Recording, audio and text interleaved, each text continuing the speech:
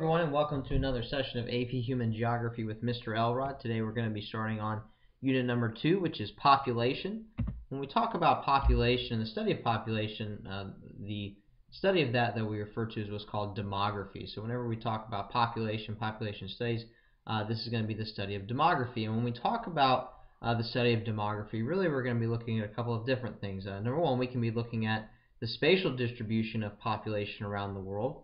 Uh, and not just spatial distribution, where are people located, uh, but we can also talk about what is the composition of that particular population. So we can talk about uh, males and females, number of children. Uh, we can be talking about the number of births. We can be talking about uh, deaths of the population.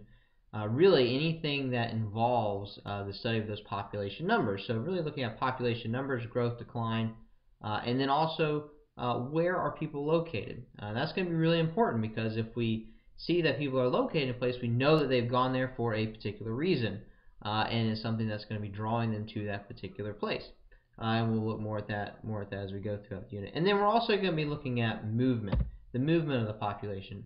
Where is it that people are going uh, as they move from place to place? Whether it's uh, something that's local, maybe it's an interregional movement, maybe it's an international movement.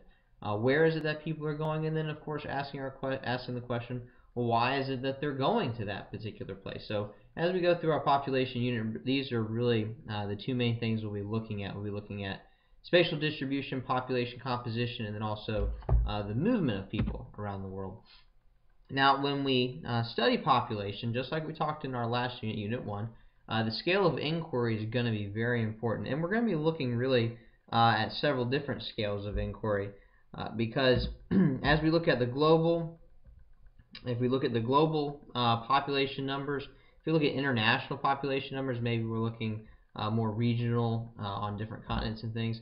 Just look at the national, or if we look at the local scales, all of these are going to give us different numbers and different ideas of what's going on. Uh, currently, we see a global trend of, of, population growth, and that's why people have been talking uh, for the last couple years that you know population might peak out somewhere around 9 billion people and maybe decline if we continue on the trend that we're on. But if we don't and we continue on past 9 billion, then a lot of people are concerned about what would happen to the Earth and the resources on the Earth, so forth and so on.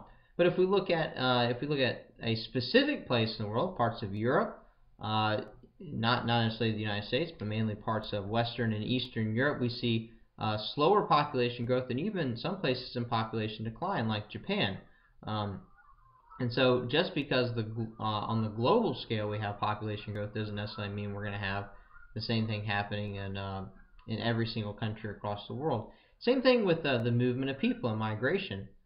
Uh, you know, we could look at uh, where are people moving from specific regions. Uh, and if we look at the reg regional movement, that's going to tell us one thing. But then if we look at some more local or international movement, those are going to tell us some other things. So Remember, scale of inquiry is incredibly important uh, in order for us to better understand what exactly it is uh, that we are looking at. Now, when we look at current global trends, and right now we're going to be talking about uh, population, population growth. Uh, one of the things that we find uh, is that when we're looking at uh, where is population currently growing the fastest and also the slowest, um, we're going to ask ourselves these questions mainly because we want to identify the areas that we're having trouble. Uh, whether population is growing too fast or too slowly, and when I say too slowly, really more more along the lines of population decline. Uh, steady population uh, growth of a, well, I guess it wouldn't be growth; it'd be zero population growth. Uh, really doesn't pose as much of a problem, but when we see population in too much of a decline or growing too quickly, that either of those can pose problems, which we'll really talk more about uh, as we go throughout uh, go throughout the unit. Some of the places where we see some of the greatest problems today uh, are some of the areas where we see the fastest population growth. And the reason that that's a problem is because this is really taking place in some of the poorest regions in the world, uh, mainly in certain portions of Africa and Asia. Now, the reason that it's a problem that population growth is happening so quickly in these poor countries is because these are the places in the world that are least able to take care of larger population growth.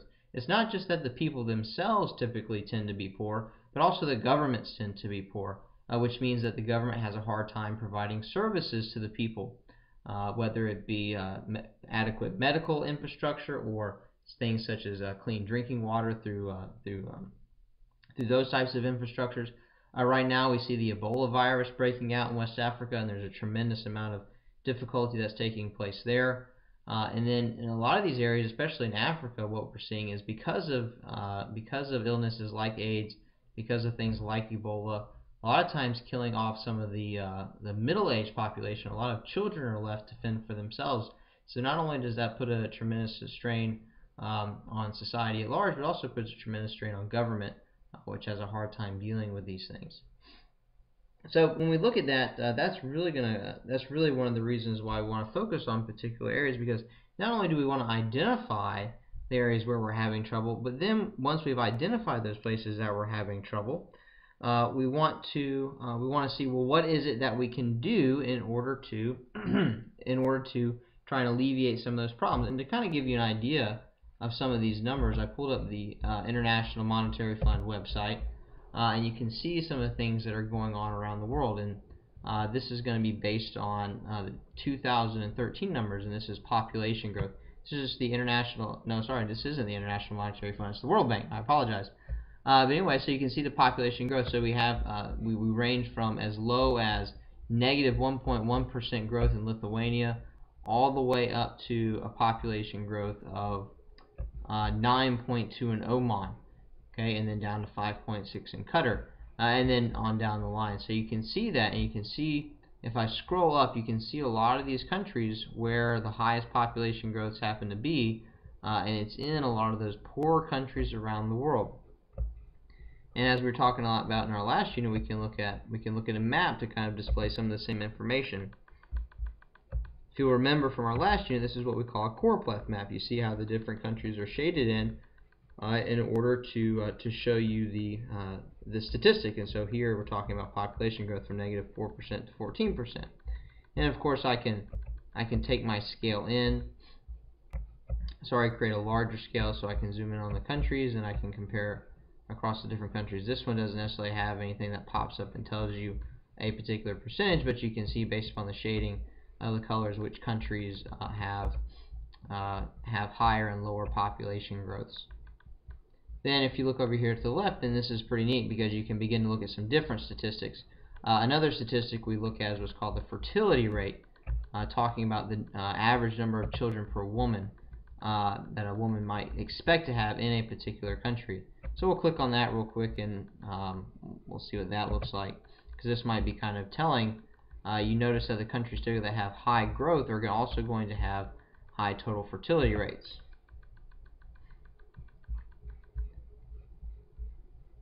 So you can see where some of the highest, I guess this is, see. see what some of the places in the world that are going to have some of the highest fertility rates.